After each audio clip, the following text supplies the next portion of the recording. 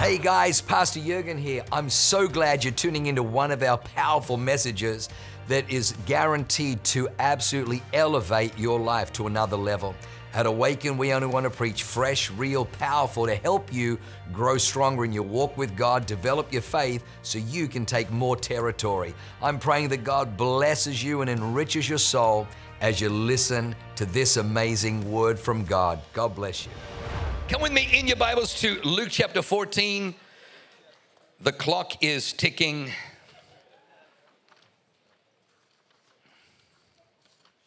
If I can find my notes in Jesus' name. There it is. All right. Luke chapter 14. Yell out when you're there. Okay, only a few people. All right. Uh, New Testament, Matthew, Mark, Luke, John. Hold the horse while I get on.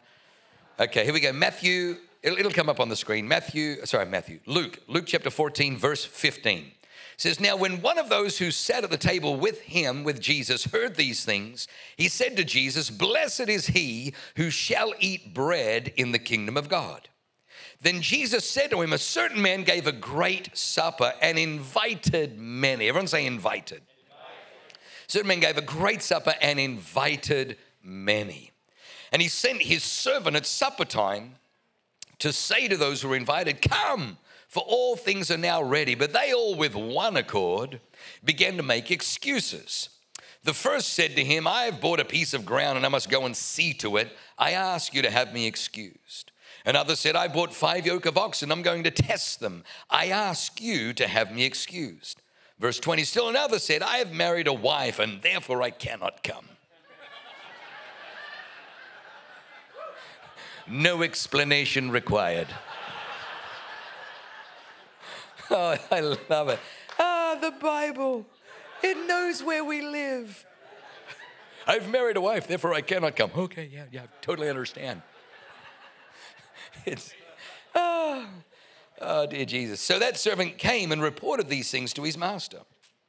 And the master of the house, being angry, said to his servant, Go out quickly into the streets and the lanes of the city and bring in here the poor and the maimed and the lame and the blind. And the servant said, Master, it is done as you commanded, and still there is room. Then the master said to the servant, Go out into the highways and hedges and compel them to come in, that my house may be filled that my house may be filled. For I say to you that none of those men who are invited shall taste my supper. Uh, today, I want to preach to you a message entitled Lessons from the Invited. Lessons from the Invited.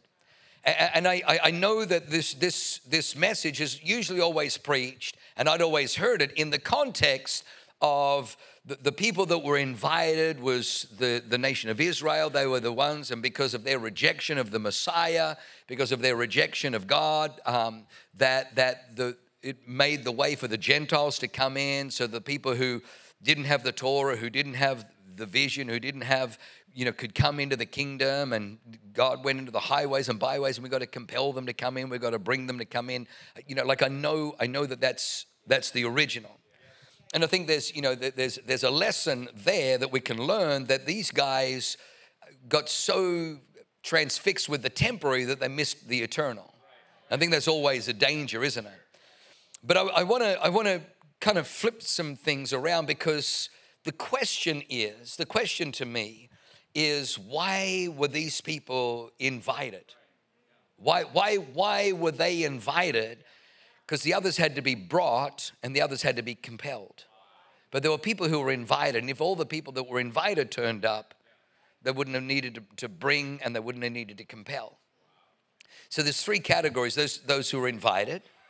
To, to, to invite somebody is requires preparation you know you, you know that if i'm inviting somebody over and they've got a food allergy we're going to accommodate that we're going to have some you know some gluten free or or you know, whatever, because, you know, we want them to have a good time. We don't want them to be invited and not be able to eat. So, so we're going to, you know, have the chef or whoever's cooking make adjustments. So when, when you're inviting, when you're preparing a banquet, you're, you're thinking of, of table settings. You're thinking of who's going to sit where so that communication f- can flow, that, that, you know, everyone's laughing and everyone's not just enjoying great food, great wine, but enjoying great fellowship. People are having a good time. Everyone looks like they're, they're getting on. Relationships are deepened. Connections are strengthened you, are thinking through these things. You, you might be using eBrite or eVite or, you know, sending out RSVPs. However, you know, it might be, you know, on a, on a beautiful piece of paper that's embossed and gold lettering, whatever, so that people feel special. That, that there was invitation. When the people rejected in the invitation, there was another level of people that came, and they were the people bring, bring, go out and bring in the blind, the lame, the maimed, and the poor blind, lame, maimed, and poor. These are people that had to be brought. They had to be carried. They had to be, they couldn't, they couldn't get there themselves. These are codependent people. They're, blind. They've got no vision, so they need somebody else to, to lead them. They're, they're, they're maimed, that they've lost the ability to, to be fruitful and productive. So somebody has to help them they're, they're, they're lame, somebody has to carry them. Like, the, like when they carried in, in Mark chapter 2, they carry the man on the stretcher. He's, ma- he's lame, they carry him, or they're poor, they can't support themselves. So somebody else has to bring them. But then there was a third level where it says, Go out now into the highways and the hedges and compel them to come in. in, in so, so once, once I brought in the, the blind, the lame, the maimed, and, and the poor, there, there's still room. And so they've got to go out and compel people who maybe they're just they're strung out on drugs, they're, they're, they're, they're vagrants, they bring them in. The master's determined my house will be filled. One, one of the things that you'll, you'll find out about God is wherever God is, He fills. The Bible says He doesn't dwell in the heavens, He fills the heavens. The Bible says the angels cry to one another, Holy, holy, holy is the Lord Almighty. The earth is filled with the glory of the Lord. The Bible says, when the day of Pentecost had fully come, there came a sound from heaven as of a rushing mighty wind, and the whole house was filled. The Bible says that Jesus says to you and I, be filled with the Holy Spirit. God fills our life with good things. The Bible says He doesn't just fill our cup, the Bible says He fills our cup till it overflows. Wherever the signature of God is, He fills. The signature of God is He fills. So I want to come back to what intrigues me is the first group of people. The first group of people. There are three categories in the first group that were invited. And so we're going to learn lessons from the invited. The first one is, is the man in verse 18 says, with one accord, they made excuses. Verse 18, then the first said to him, I have bought a piece of ground and I must go see to it. I ask that you have me excused. The first quality of people that are invited people that are invited is a territory taker. A territory taker. When you hear me say invited, this is what I, uh, how I want you to interpret the word invited. I want you to understand that there is, a, there is an anointing that flows in the kingdom. If today you are born again, if today you've received Jesus Christ, Christ has come into your heart, I want you to know there's a, there's a, there's a flow from heaven there's an anointing from heaven. There's a, an empowering, there's a power from heaven over your life. And the first expression of that power is for you to take territory is for you to take territory. This man says, I, have just, I've just secured territory. I've taken land. I've bought a piece of ground and I must go and see to it. We're called to take territory. We're called to take territory. When I first moved to San Diego, people told me about, you know, there's no 501c3s, you know, it's really difficult. There's no zoning for churches. It's really expensive. You know, just just be just be content to rent. But we saw in 2020 that all the all the pastors that that rented had spent years building their congregations, years building their churches. But then all of a sudden, because they didn't own a building, because they didn't own land, because they didn't own a territory, a landlord was able to say, Well, we're shutting everything, we're not letting anybody. And so co- entire congregations were decimated. Churches were decimated because they didn't own the land. They, they, they didn't own the land. Somebody else was the landlord. when you secure, when you take territory, you now exercise authority over that region. The Bible says that God has made us a nation of kings and priests. The word for king in Hebrew is melech. It means one who governs with authority over a jurisdiction, over a territory. One of the first things you'll find is, is that, that there's an anointing here for you to take territory.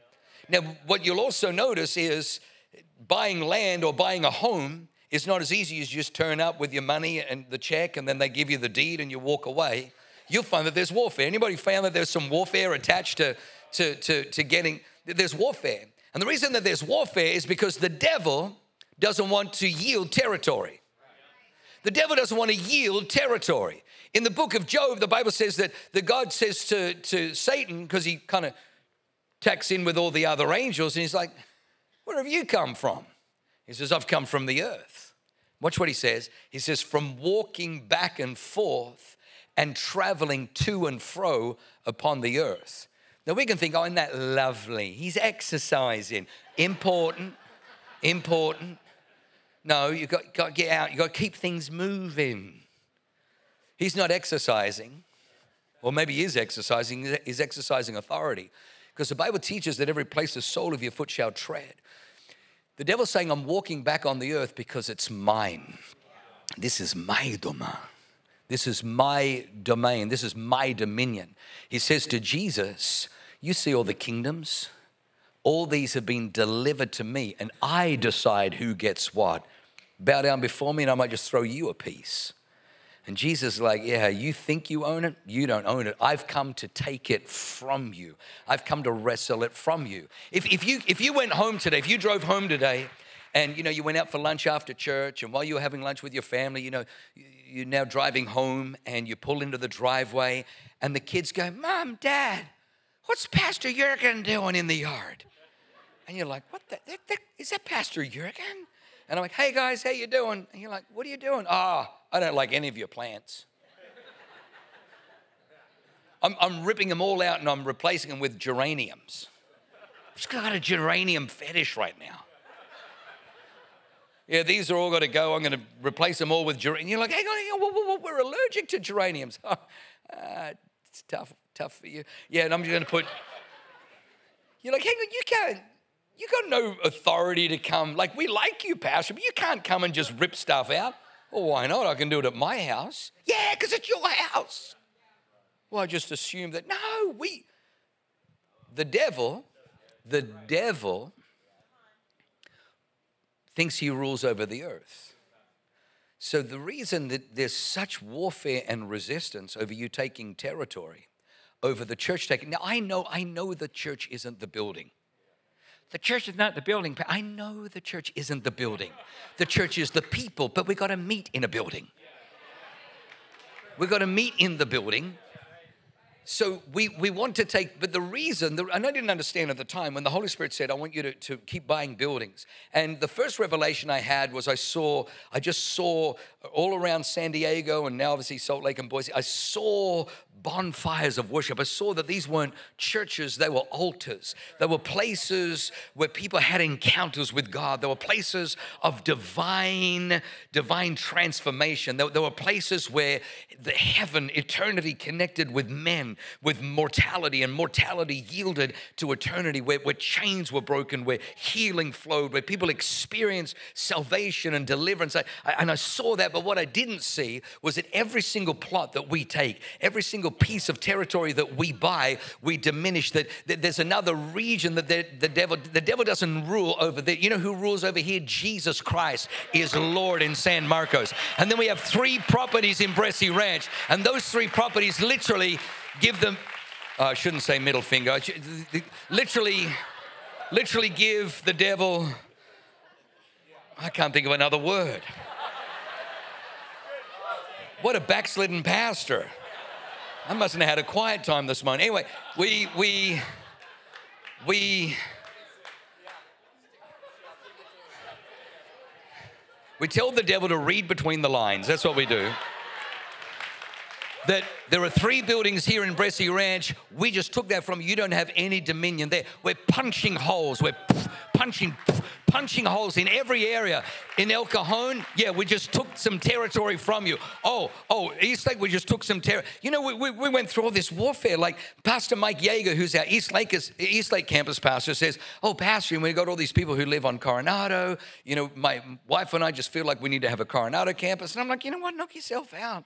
But I, I, honestly, I like Coronado. I like the Del Coronado. You know, we hire bikes and we ride around. They've got great restaurants. This side, you've got the beach. That side, you've got the harbor. You've got city views. I like Coronado. But if, if, if we didn't have a church there, I wouldn't care. I'm still going to go there. It's still kind of a fun hangout day where we bring friends from Australia and New Zealand. We take them. It's, fun. I, I, didn't care. Anyway, he's like, but, but then all of a sudden, I start, people started these fake accounts on the few social media things that I'm not banned from and started telling me how, oh, you know, we're, we're going to drive your blankety blank off the, the, the, Coronado, off the island, blankety blank, awaken, you know, that cult, you're not welcome here. And then one guy, one guy spent like a lot of money to do a 40,000 mailer uh, you know, to tell people to, to resist awaken and there's cults coming and, you know, all this nasty stuff. And, and then, and then, then, they, then they dock some of our beautiful people who, who just live on the, they just live on the island. They do business on the island, but they did this nasty kind of thing to, to like hurt their business and hurt them financially. Let me tell you, nobody is as intolerant as the tolerance people and nobody hates like the love wins people, just so you know. Just so you know. Anyway, so so I'm like, I'm like, God, like, what, what is going on? Like, it's a sleepy little peninsula. Like, I, I don't even care, but I'm getting all this hate. Like, when we started Balboa, there was nowhere near the warfare. There was, in fact, all, all the other campuses combined wasn't like the warfare of Coronado. And then God said to me, Well, you know, what's it called? I said, Well, I just told you, it's Coronado. He goes, Yeah, yeah, but what does it mean? He says, It means crown. It means crown. He says, The reason you're getting such hostility is because the principality, the demon that governs San Diego, you think his crown is in the high rise of the CBD, the central. You think it's downtown, but he's hidden his crown over on this little island peninsula. And he knows that when you take his crown, he's going down. So, you know what we decided? We decided, oh, we ain't renting. We're gonna buy a piece of property. We're gonna buy a central piece of property because we're taking the crown from the devil. When we take the crown from the, when we take his crown, you watch what happens. They will call San Diego the Texas of California. They were talking about it's like a Bible Belt. Man, everything flourishes, everything already, just, just as we've been doing warfare on the already one of the, the, the, the reprobate supervisors has, has come crashing down. Things are shifting in the spirit realm because we're here to take the devil's we're here to be territory takers. Can somebody say amen? I love you. The Bible says, the Bible says that God planted a garden eastward in Eden and there he put the man whom he had formed. God gave Adam a command in uh, Genesis 1:29. He says, "Adam, see, see, I've given you every herb, every plant, every fruit bear, uh, every fruit tree bearing seed within itself. To you it shall be for food." There was a garden in Eden. The garden butted up against wilderness. The garden was surrounded by wilderness surrounded by wilderness. Jesus was driven out by the Holy Spirit after his baptism into the where he was tempted for 40 days by the Jesus says when a demon is cast out of a man, he goes through dry and arid places seeking rest, but he finds none. The devil dwells in the wilderness. Adam's assignment in Eden was to go to the edge of the garden and take seed from the garden, plant it into the wilderness, and transform wilderness, increasing the kingdom, decreasing the wilderness, decreasing the devil's territory. He was meant to continually take ground from the enemy. The reason we are buying buildings and the reason we are taking territory, because our assignment from heaven in San Diego is to increase Eden, is to increase paradise, is to increase marriage increase fidelity, is to decrease addiction, is to decrease hopelessness. It's to decrease poverty. It's to decrease the chains of bondage.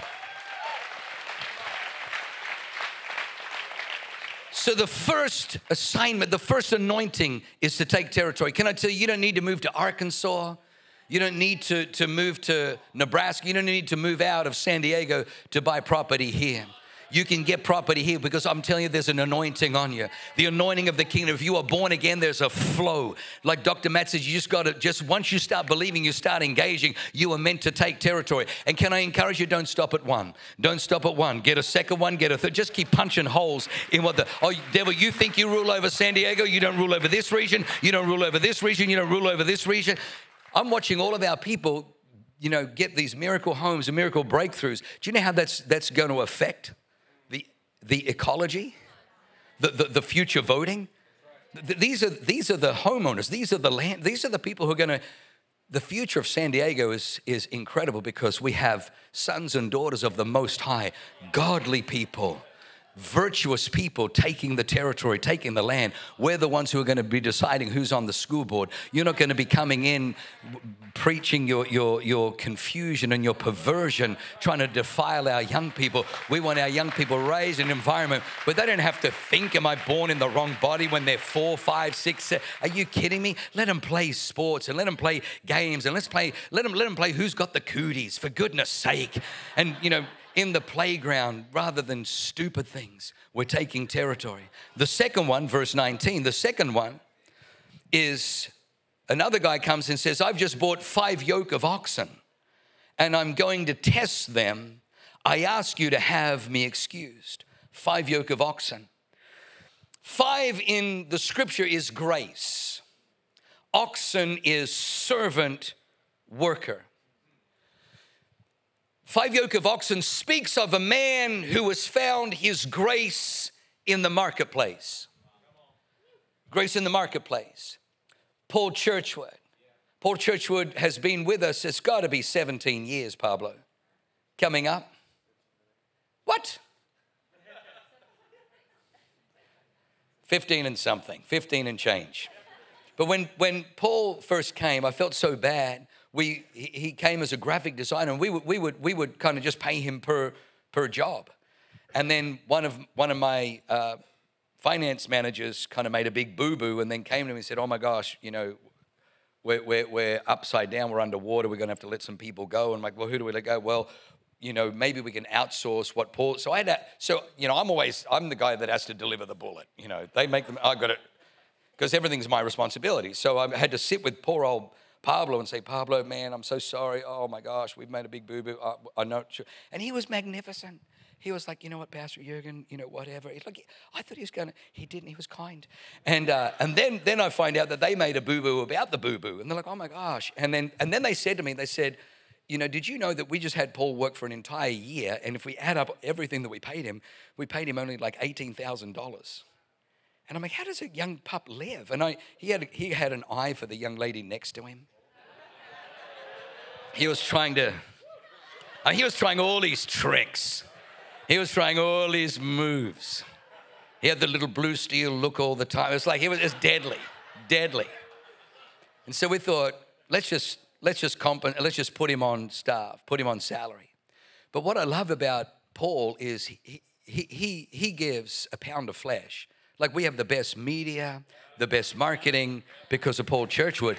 But Paul Paul also has a business that he runs outside of the church, a personal business that God has been able to bless so that he's able to, to look after his wife, his three beautiful girls, buy a beautiful home. Paul, Paul, Paul is not just a boss in the kingdom, he's a boss in the marketplace. Dr. Matt is not just a boss in the kingdom, he's a boss in the marketplace. Pastor Alex is not just a boss in the kingdom, he's a boss in the marketplace. Mike Finn is not just a boss in the kingdom, he's a boss. Why is that? Because 99% of ministry happens in the marketplace. Pastor Colin Higginbottom, they're having their second service. They started last week. Church launched 600 people. Who launches with 600 people? Second services today.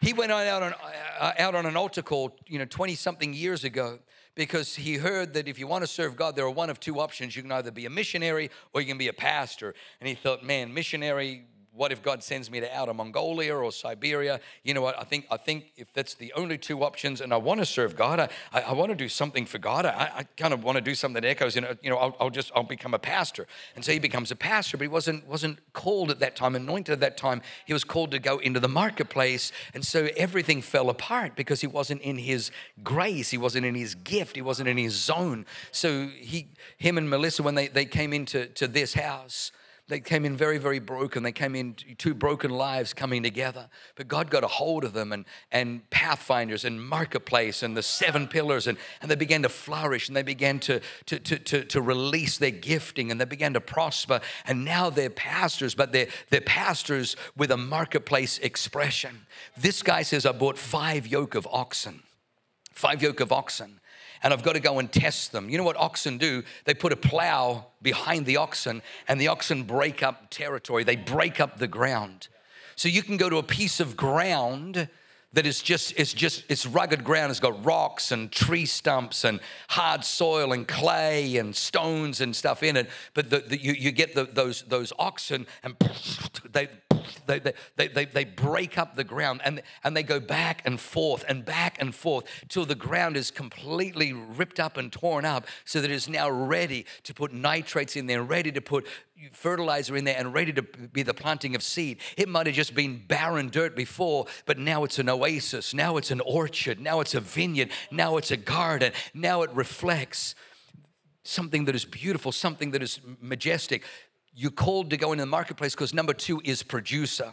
The second anointing that, that rests upon you if you're born again is to become a producer. And a producer is somebody who transforms communities, transforms society. You, you make things better. You make things better than what they were. When we came to San Diego, I knew that the anointing on us, wherever we put our footprint, is going to be better. You can tell a lot about the authority by the territory. In fact, the condition of the territory tells you who's in power. That's, that's why I have a lot of problem believing the stuff that the, the, the blue state leaders say, because I just look at the way that they govern their region. I look at the hopelessness, I look at the crime, I look at the murder rate, I look at the addiction rate, I look at the homelessness rate, and, and they're trying to pipe off like that. Well, first clean up your own mess. Jesus says, Beware of false prophets, beware of false teachers. You'll know them by their false prophecies and teaching. No, he says, You'll know them by their fruit. You'll know them by their fruit. Don't listen to the toot if the fruit's no good. Look at their fruit. You can tell, you can tell, you can tell the authority by the condition of the territory. The first time, the first time we drove into Tijuana, first time we drove across, it, it, it, it, was, it was such a, it was such a surreal experience because I'm looking, it's the same Pacific Ocean, it's just all of a sudden there's a border. And it's the same hillside and mountain, all of a sudden there's a border. It's the same sky. It was the same temperature. The same temperature on this side was the same temperature on this side. And yet here, order, peace, beautiful. As soon as we crossed over, disorder, poverty, chaos. What is it? It's the spirit that governs the region. You can tell the authority by the condition of the territory. Let me just double down now that you went all quiet. Pastor Mike Connell has been, uh, Leanne and my, and now even for our team, one of the, the greatest pastors. And he was sharing with us just about pace and around uh, church life. And he told the story of where he had a he was right on the cusp of burnout with church and there was a, split in the church and division in the church and all this kind of stuff and he had nothing left in the tank. And they had no money they were so poor. And so he just knew that he and his wife had to go away. They just had to take take a week and just just refresh. He had nothing left in the tank. And he said he, he, he had no energy. He couldn't even drive. So joy his wife had to drive. And he said i'm just going to lay on the back seat and take a nap and he was so exhausted, he fell asleep immediately. He said, You know, when you're asleep, you don't know time. He says, All of a sudden, he woke up and he had all this energy. And he thought, That's weird. Like, how did I? And he, so he sits up and he looks around and says, Joy, where are we? And she says, Oh, um, we literally just crossed the county line. We just crossed the county line. And he said, Huh.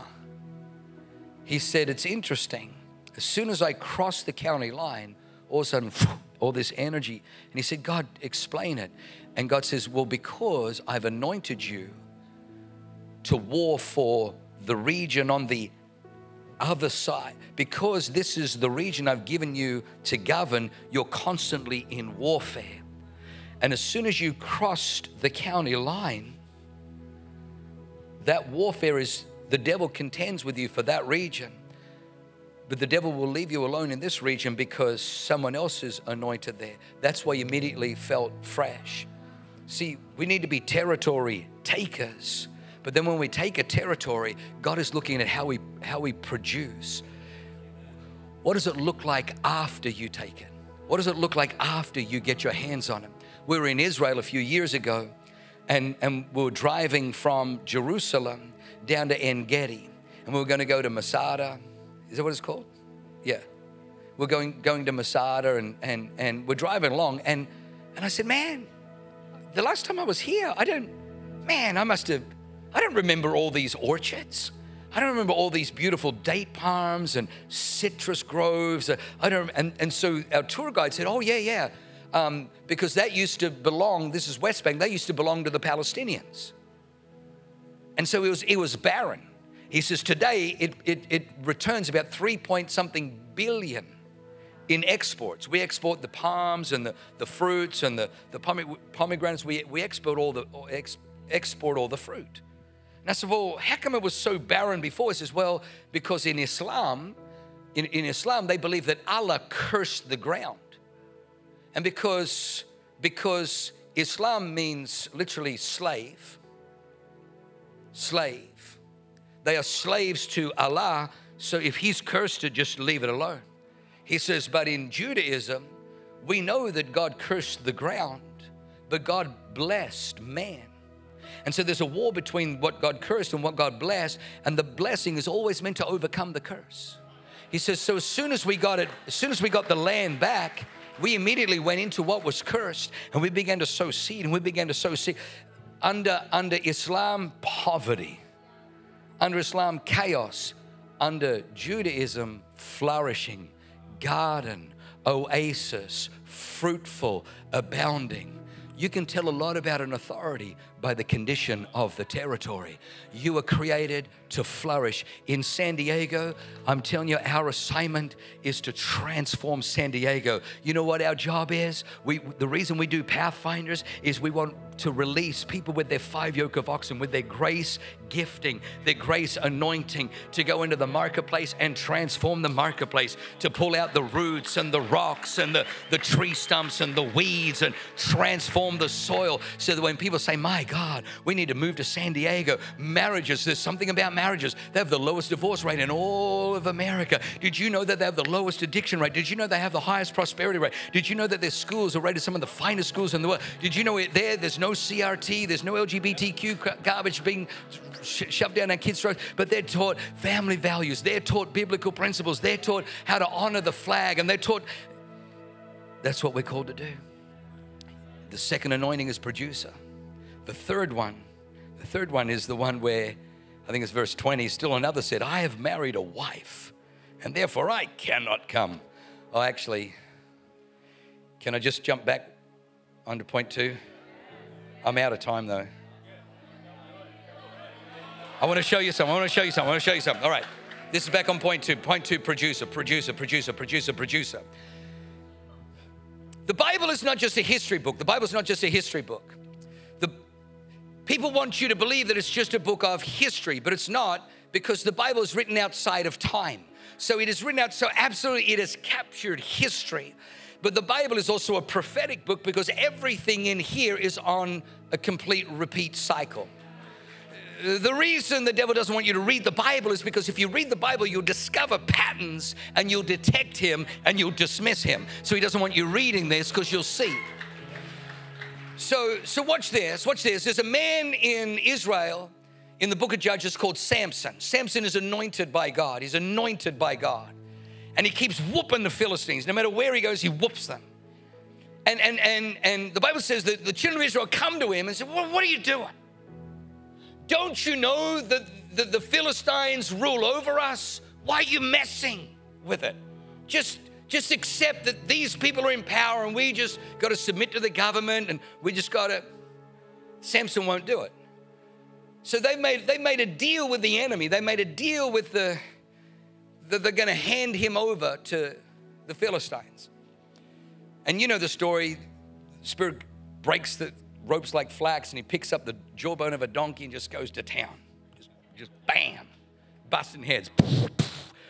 Heads busting everywhere. You got these Philistines, like there's thousands of them. They're all lined up, and all they see is heads exploding. And they're back here going, Yeah, what's happening up there? Not sure. Because they speak with a Scottish accent, apparently, in Palestine. What's he, what's he doing? Oh, looks like he's busting heads. What's he got in his hand? It looks like the jawbone of a donkey's. I mean, a jawbone of a. No, hang on. What is it? A jawbone of a. Anyway, jawbone of an ass or whatever. Anyway, jawbone of a donkey. Not a donkey's. Anyway, and so that's awkward. Anyway, you know the story. Stop interrupting me. I'm trying to finish. I'm over time. So, so watch this. So finally, you know the Delilah, D- Delilah story. Delilah story. And they were asking, we want to know the secret to his strength. We want to know the secret to his strength. When she shaves his head and the Spirit of the Lord leaves him, his strength had left him, the strength, the anointing left him. The first thing they did was bored out both of his eyes. The first thing they did was took away his vision. Once, once they broke his strength, his ability to resist the governing corrupt authority, once he lost his strength to resist and overcome, they took away his vision. Next, what they did, Pastor Alex, was they then put him into the field to grind their corn. He's grinding their wheat. He's just put out there to grind. And then the Bible says that they would give him relief from grinding their corn and their wheat by bringing him out to perform. This is a picture of the spirit of the world compared to the spirit of the kingdom. The spirit of the world wants to take your strength to resist because it wants to take away a God vision for your life put you in the in the field where you work to make Bill Gates, you work to make Bezos, you work for the elites, you work for for them, you work to produce wealth for them. You're not producing wealth for you, you're not producing wealth for the kingdom, and the entire thing is performance based, not in the kingdom. In the kingdom, everything rises and falls on your productivity for God. God wants you to keep your strength. He wants you to live with a God vision, and He wants you to produce for the kingdom. That's that's what I needed to get in. All right, the last one, the last one, the last one, the last one. He says, I've married a wife, therefore I cannot come. The third anointing, the third flow, the third element of being invited, the lesson that we learn is God looks for promise keepers. This, this is a man who says, I've married a wife. He, he's a man who can make a promise and keep it. He, he's, he's a man that doesn't just make a promise, he, he goes from promise to covenant. There are a lot of people that make a commitment, but a lot of people say that marriage is a contract. Marriage isn't a contract. Marriage isn't a contract. It's not a certificate and it's not a contract, it's a covenant. What's the difference between a covenant, a certificate, and a contract? In a contract, it's a contractual agreement. A contractual agreement says, well, if you do A, B, and C, I'll bring D, E, and F to the table and you'll receive D, E, and F as long as A, B, and C. If A, B, and C fall short, well, I'm going to withhold D, E, and F. So if you say to me, What's the greatest way for me to ruin my marriage? Think of it as a contract. Jesus on the cross made a covenant. He says, Take this wine. This is the wine of the new covenant, my blood. When Jesus hung on the cross, you didn't have to bring anything to the table. A covenant is I will be faithful, I will be loyal, I will cleanse, I will deliver, I will heal, I will redeem, I will restore. Doesn't matter what you do. But when you come to Him and He begins to heal and he begins to save and he begins to restore, everything shifts. Everything changes. This is a man who, like Pastor Mike Finn, saw the most beautiful woman in San Diego, Rachel. And he thought, how do I win her? So, like Paul, he sat with Paul Churchward. He said, Paul, you got to give me some of your tricks. Now, if I was honest with you, you know, Paul charging him 10 grand, I felt, I felt that was a bit steep. Little steep. But Paul's a businessman. He's a marketplace giant. You got to, you got to. So he, he said, to, he said, look, here's some tricks that work for me with Audrey. But Mike knew that he had to, to woo her, he had to win her, he had to court her. Then the day came, the day came where he's smitten, he's head over heels with his beautiful Rachel. So then he makes an appointment to see her daddy. And he asks her, Daddy, I really love your daughter. Would you give me permission to have her hand in marriage? Hand in marriage is, it's an old English term, it's an old English tradition where a man says, I, I, I spent money and I bought a ring. And when people see her left hand, they see no, no, no ring on there. It says that she's still available. Sir, I'm in love with your daughter. She's in love with me. Please, may I put a ring? May I have her hand in marriage? He doesn't get her whole, he just gets her hand in marriage. The time is coming where he gets all of Rachel, but right now it's the hand of marriage. And he says yes. So then he goes through, but then there comes a day. And they stand at an altar. The doors open, and this angel in white comes walking in. Mikey Finn is standing there, and he makes vows. And they exchange vows, promises before men, promises before God. They kiss, and they're declared husband and wife. And they start this beautiful journey, this beautiful adventure together. That's how life's meant to be. Life's meant to be filled with people that make promises, but they don't just make contractual agreements. They don't even just make commitments. They take contractual agreements and commitments and they put it into a covenant that I will be your friend come hell or high water. One of the things that we learned in 2020 was there were a lot of people who today, now 2023, now that the storm subsided, are all of a sudden our friends. They, they, they, they they weren't there in 2020, 21, 22. Some of you even got back to us, you know, didn't say kind things about us. And the Holy Spirit's so beautiful. The Holy Spirit just fell on me and He just said, People aren't making their best choices. Don't judge them. People aren't making their best decisions. Don't judge them. One of the most beautiful things is to love somebody when they're not doing the right thing. Peter denies Jesus three times, and Annika just captured it so brilliantly. When you see the three angels carry on Carry on, my wayward son. There'll be peace when you are done. About the restoration of someone, he denied Jesus three times, but Jesus never denied him. Jesus never quit on him. Jesus never gave up on him. It's called a promise keeper. The Bible says, Who can ascend to the hill of the Lord? Bible says, He who has clean hands and innocent heart, and he who swears to his own hurt. When we were moving to San Diego in 2005, we moved here in July. In May of 2005, Pastor Phil Pringle had a Vision Builders. And we had $10,000 left on our Vision Builders, and I was meant to have got a check from my book publisher for my book, God in Hollywood and it hadn't come. It was meant to arrive before the, the date. And so I'm sitting there at the dinner, I'm sweating. And then Pastor Phil kind of gave a little bit of reprieve. He said, Listen, if you still owe 10 grand, oh, sorry, if you still owe money from last year, just roll it over and make it part of your new pledge. And I thought, Oh, that's fair. And I said to Leanne, Look, we're going to San Diego. We weren't really going to give because we're like, we need every cent for church planting. I said, But I just want to honor Pastor Phil.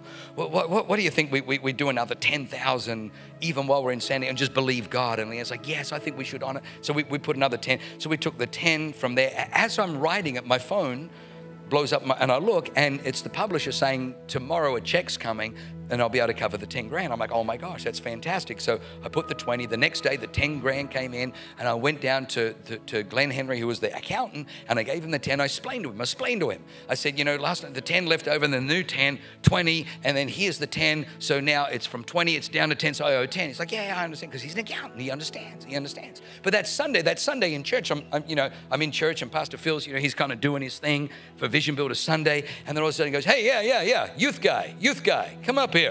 Yeah, get up here, youth guy. I'm like, uh, uh, oh, it's Jurgen. Yeah, yeah, whatever, whatever. And he's punching me. He's like, yeah, yeah, this is our youth guy. I'm like, it's Jurgen. Yeah, yeah, whatever. And he's punching me. And so he's like, yeah, this guy, this guy, going to church planting.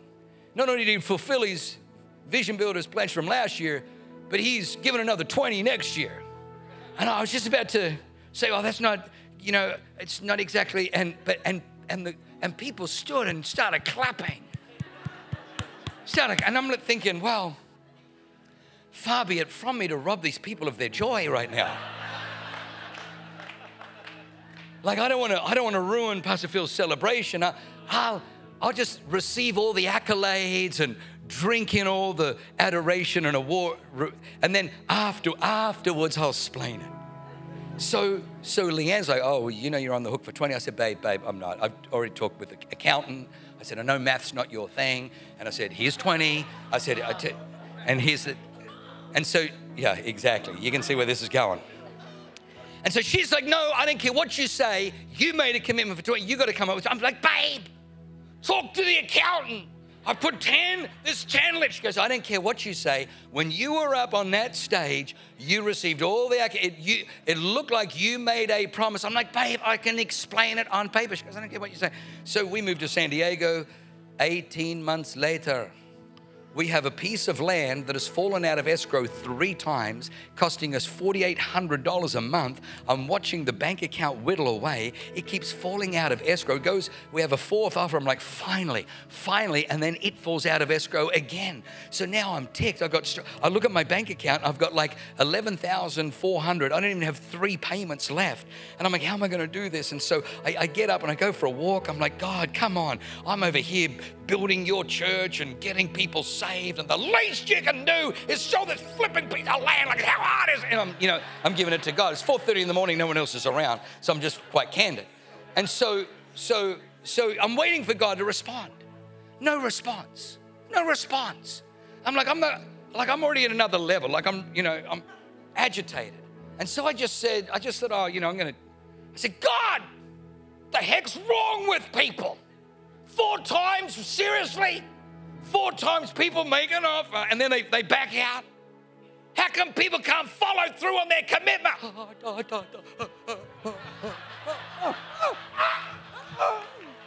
It was too late. Holy Spirit showing him, holds up a mirror. I'm like, oh, crap. So I walk home and wake Leanne. Honey, you were right. Again. I knew I married Miss Right. I just wish her first name wasn't always. So I went to my account, true story, pulled out the entire amount, sent it to Australia, and I thought, well, here we go. Foreclosure's about to go, about to start getting letters from the bank, I don't know. Within 48 hours, I get a phone call from the very, very first realtor who's no longer con- contracted as our realtor who says, Hey, look, I just looked up your land is still available. The first guy that offered on your, he had to pull out because his deal fell through. He just got an all cash offer. He called me to see if your land's still available. And I said, It is. There's been offers, but for whatever reason, he didn't take those offers. I wanted to say, well, they fell out of escrow, but I didn't. And so, so he thought, wow, he must be really holding out ask him if he'll take 200,000 more than the original price. So, as a man of God, I said, "Let me pray about it." Amen. It was the fastest. It was the fastest prayer, fastest prayer I've ever prayed. Coincidence? No. What God blesses is promise keepers. He who swears to his own hurt. The Bible says a man is snared by the words of his mouth. Now, let me just close the story. Guy is a territory taker, he's a producer, and he's a promise keeper. But they use that as excuses to miss the greatest banquet.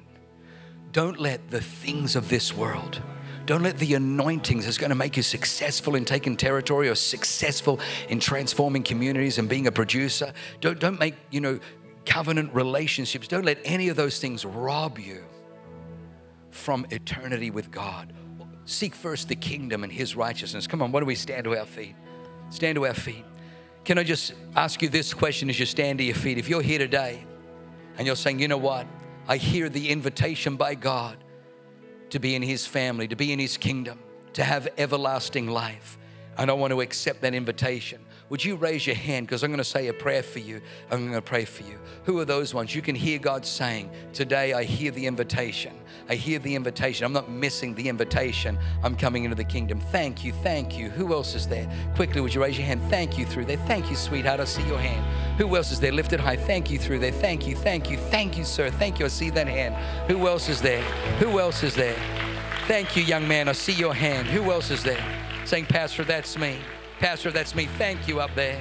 Who else is there? Just lift it up high. Lift it up high. Say, I know we're, we're, we're over time, and I promise you I'm going to pray in, in about 15 seconds. Is there one more saying, I need to respond? I don't want to miss. Thank you, thank you, thank you. Who else is there? Who else is there? Thank you, thank you. Let's all say these words out loud. Say, Heavenly Father, I thank you today. You sent Jesus, your only Son, to die on the cross to redeem me from all my sin. Today I am forgiven. I thank you. I am delivered from all the power of the devil. His hold over my life is completely broken. I am free. I am forgiven. I am clean. I am a child of God. Heaven is my home. God is my Father. In Jesus' mighty name, amen. Amen. Those of you that raise your hands, we have gifts we want to give you. We want to give you a Bible and a Following Jesus book. Down here, we have some people that are going to be at the doors. Make sure you get one. If you would have raised your hand knowing we're giving free stuff away, go and see them. They're going to give it to you. If you brought someone that raised their hand or needed to, go and get them a Bible and a Following Jesus book. I'm going to hand back right now to Pastor Mike Finn. We love you. I got a feeling that that Hero may be sold out, but if not, get in there. The last two shows, let's let's not let them perform to one empty seat. Let's pack this place out. Let's cheer them across the finish line. They've worked so hard. We love you. God bless you. Thank you, Mike. Wow. What an amazing word. I hope you enjoyed that as much as I did. Hey, listen, for more information about our church, go to www.awakenchurch.com or subscribe to our YouTube channel if you haven't already and download our app. It is amazing. It is chock full of incredible messages about upcoming events and you can even support our ministry if you feel so inclined. We loved having you with us today. We look forward to seeing you again. God bless you. Live a life that is transformative. Bye for now.